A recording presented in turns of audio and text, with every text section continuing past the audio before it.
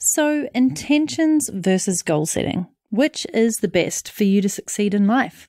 That's what this episode is going to be all about. I'm so thrilled that you are listening in to Untapped, which is all about how to live up to your potential. And this is a question that I've asked myself a lot.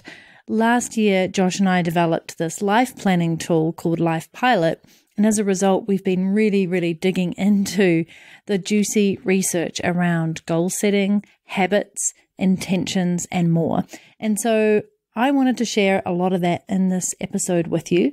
And a big part of my year is about learning and delving deeper into this. So I have spent hours today preparing for this episode. But really, if I'm being honest with myself, I have spent years delving deep into the psychology around what makes us reach our potential, what makes us find a purpose in life and then really go after it. And also what distracts us from doing that. Like, where do we go wrong? Where do we lose our patience? Where do we go off track? Where do we procrastinate and why? So, some of that I'll be discussing in this episode and future upcoming episodes as I learn more, uncover more, experiment more, and really get results for clients and people through Life Pilot to be able to share with you more of our learnings. So, the question of today is how do you combine intentions and goal setting to succeed in life? And I'm really mindful that we are almost at the end of January 2019. How the heck did that happen? And I guess the question I want you to ask yourself right now is how are those New Year goals and resolutions going for you? And I want you to be really honest. Because if you're like 92% of people who walk this earth, you won't have stuck to your resolutions if you set them. And that's likely because you set vague ones or you had unrealistic expectations, like, I'm going to become a celebrity game show host, or I'm going to break a world record in gumboot throwing. I think I put that example in there because we have a little town in New Zealand called Taihape, and gumboot throwing is their specialty, and they actually measure it and have championship events. Anyway, Wonderful expectations like that that seem ridiculous but so doable are typically, I think, the result of champagne overtaking or just getting really high on this new year coming in and throwing everything else to abandon and going, yes, this year is going to be different. But there's another factor here that's likely led to you not succeeding. And that is that you probably don't have a plan to make these lofty goals or resolutions a reality. Am I right? That's where you need intentions to go along with your goals to ensure you'll actually succeed. So, what is the difference between goals and intentions? Goals are focused on the future, they're about a destination or a specific achievement. So, for example, I'm aiming to compete in the Kinloch Sprint Triathlon on February 10th in Taupo. And I've been training towards this for almost three months now, up to six days a week. So I damn well hope that I hit my goal time on the day. My big, hairy, audacious goal that I'm going to share with you eek, is to qualify to represent New Zealand at the World Champs in September this year. Now, when I signed up for that event, that wasn't my intention. It was just to compete in a sprint triathlon, train for it, and get fit for it and enjoy it. But then I found out that if you actually got in the top 10, you might be able to qualify to represent New Zealand. And that was just like a bonus cherry on the top. Intentions are in the present moment. Intentions are lived each day. They're independent of reaching your goal or destination. They're about the inner relationship with yourself, if I'm being really honest. And what I know to be true is that the journey of getting my level of fitness up to speed, pun intended, to be able to compete in this event has been the really rewarding part. Every day I've turned up with intention to make a little micro improvement in my run, my bike, or my swim. No matter how tired I feel, and I felt tired, or what my last result was. And some of those have been like disappointing to me because I have high expectations. The actual event, though, even though it matters, isn't going to replace all the hard work, commitment, and dedication that I've put into my training since October. The real intention has been to get into peak health and maintain that for the rest of my life. So, why does goal setting suck on its own? Well, I've always been an avid goal setter, and for my most formative years, I used my competitive nature and my Gretchen Rubin would call upholder tendencies of always doing what I say I will to achieve my goals. And the thing is, once I'd achieved a big milestone, I was often left feeling pretty empty. Now, you may have experienced this for yourself. In fact, I'm 99% certain you have. And what I've noticed over the years is as I get older and thankfully wiser, it's that I was putting all my eggs into one basket and setting myself up for a letdown rather than focusing on the journey of continual improvement. I read an excellent article on Inc. by the author Wanda Thibodeaux. I hope I've pronounced your name correctly. And it was called Why You Might Feel Empty After Reaching a Huge Goal and How to Move On. And in that article, she speaks to the fact that goals give you a sense of purpose, connection, and direction. But if all we focus on is working long and hard to reach this one monumental goal, when you finally hit it, all those links that you've created between yourself and your sense of worth disappear. So now you don't have anything to define yourself the way you did, and you have all this time on your hands that you don't know how to fill. And I felt like this after I won my regional body sculpting championship. It was something that I dedicated myself to for nine arduous months and lots of chicken and broccoli and twice a day in the gym training for this event. And when I finished, I won it. But I felt this severe lack of identity because I couldn't say I'm training for this body sculpting championship anymore. All I had was a bright, shiny trophy, some bling, and a tub of protein powder. But my quest to be the best had now passed, and I didn't know what to do next. Now, Wanda notes that what adds to that is neuroscience kicking you in the face while you're down. That's literally what she said, and I loved it because, in short, your brain releases dopamine, a hormone associated with both motivation and happiness, in anticipation of reward. That's why we get so excited about goals because dopamine kicks in and it gives us that little sense of excitement, and we think, wow, imagine what it's going to be like when we actually hit this goal. And that's what keeps you working towards your goals, especially where each milestone you set towards achieving it gets hit. It gives you even more reason to keep going and a biological position to feel good. The problem is when you reach your goal, that release of dopamine drops and it's harder for you biochemically to have joy, which is why often you'll get there and you'll be like, huh, is that it? The other reason goal setting leaves you disappointed is that it moves you towards what you think you want and takes you out of enjoying the present moment, right? Am I right? Come on. Oh, I so wish I could hear you going, Yes, Natalie, I've felt this before. So instead of being grateful for the here and now, you're left feeling like what you currently have isn't enough and that you have to strive harder to get the next big thing, which leads you to being stuck in an endless cycle of goal setting to fill the void. And that's exactly what I used to do. And don't get me wrong, like I achieved tons, but my happiness throughout the time of achieving that wasn't always there. It was always focused on this end goal of where I wanted to be rather than how I felt right now. Living your intentions, on the other hand, is much different than having a goal oriented focus. That's because it allows you to focus on how you want to be in the moment. It's not about winning or losing, hitting or missing. It's about tuning in to your moment to moment focus. This means you live life by your values and what matters to you most, and that's a beautiful way to live. So, how do you combine goal setting with daily intentions? Because they both absolutely have their place in your life. The key thing to understand that I now understand myself is that focusing on your intentions doesn't mean that you're giving up your goals. It actually means that you found a great partner to achieve your goals with. I actually like to think of intention as your personal trainer. It gives you the daily rhythm, motivation, and accountability you need to transform yourself. By being intentional, you'll enjoy the journey as much as the destination, and therefore you'll just bring more joy to everything you're doing. And that's a big focus for me this year is that I want to have joy in everything that I do. Otherwise, I'm not doing it right. Back to intentions. They really act as a reminder on how you want to show up in the world and live each day, and they give you the purpose to show up to meet your goals. That's why my partner Josh and I baked in intentionality into our Life Pilot tool and methodology.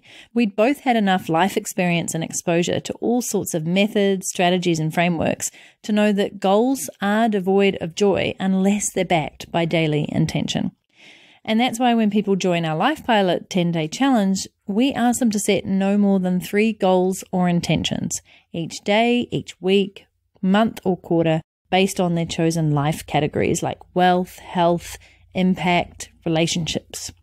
And seriously, this takes some getting used to, but once you tune into it, it makes life planning way more enjoyable and sticky. And by sticky, I mean something that you are going to stick with, which is what we all want, right? to make it easy and turn it into a habit. So here's a real life example of intention supporting goals. If you'd looked at my weekly tab in my Life Pilot spreadsheet last week, you would have seen my work category goal, which was to finish first quarter of content editorial calendar.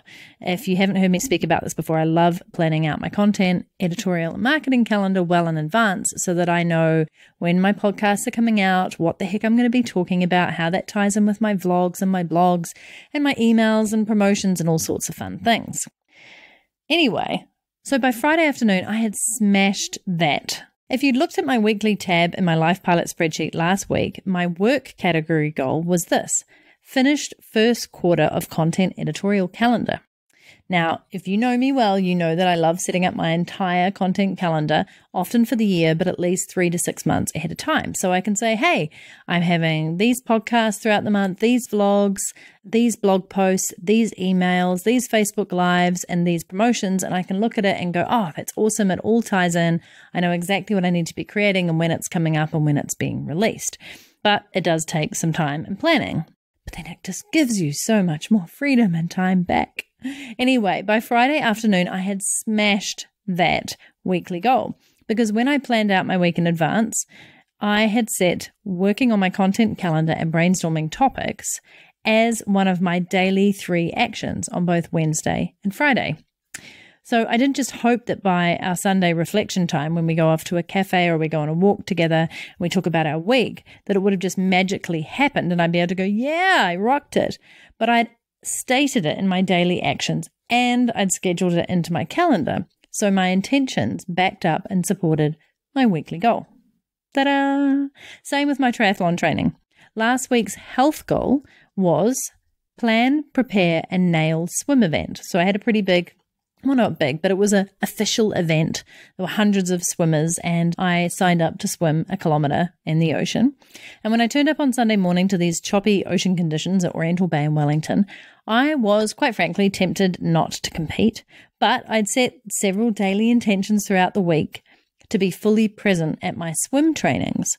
And so that meant when I got to the start line, I knew that I was prepared. I was more than prepared for the event, and I just needed to stop being a wuss and get in the water.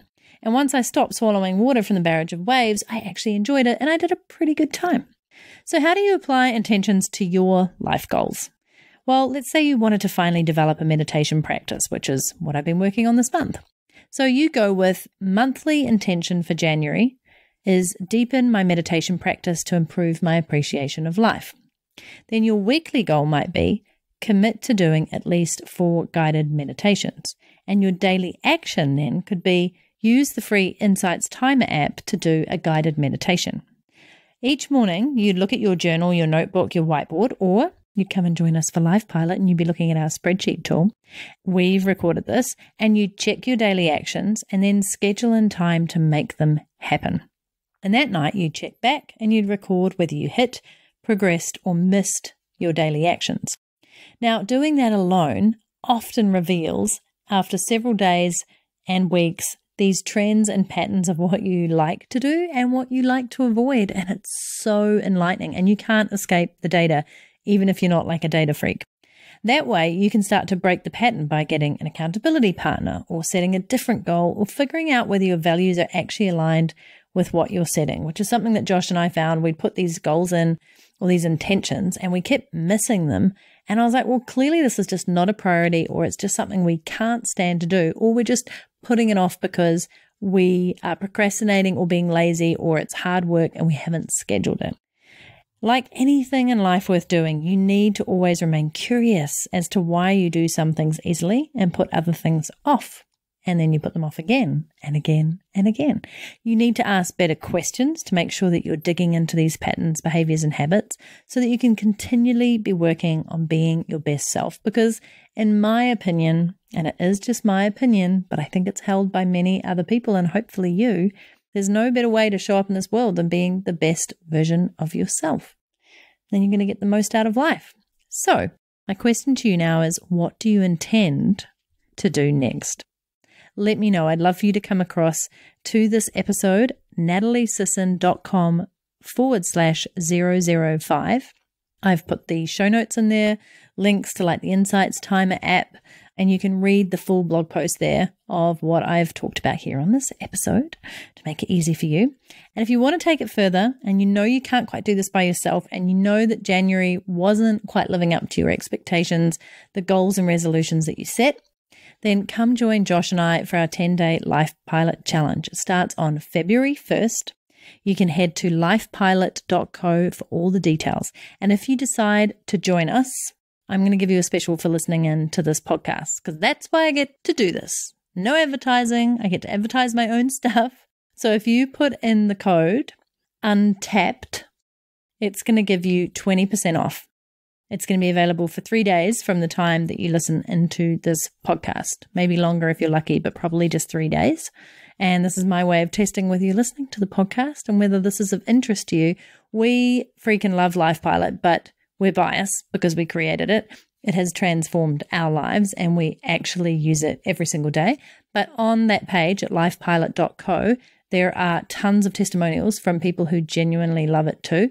And every single time we jump on our members lounge call, which happens twice a month, with people who have gone beyond Life Pilot and they just want accountability and community and support and coaching, they're constantly telling us why they love Life Pilot. And it's like every time we do those calls, it makes me so, I don't know, I get a little bit emotional because they don't need to tell us that, but they genuinely are so thrilled in the ways in which they're seeing it work for them and how they've incorporated it into their life and their families and their relationships and their work and their career. So, lifepilot.co. If you're up for joining us, we're starting on February 1st. You can take it self paced, but you can also join us live. And I just really love to see if this makes a huge difference in your 2019. So don't forget to use the code UNTAPPED for 20% off because I'm feeling generous and I want you to change your life for the better this year and untap your potential. Thank you so much for listening in. If you liked this podcast episode, if you loved it even better, please can you actually do me a favor and just share it with your friend? Can you just say, hey, go to nataliesisson.com forward slash 005 and just check this lady out or tell them to just go find Untapped on iTunes with Natalie. And that would be a really amazing favor that I really appreciate you doing. Here's to you living up to your potential.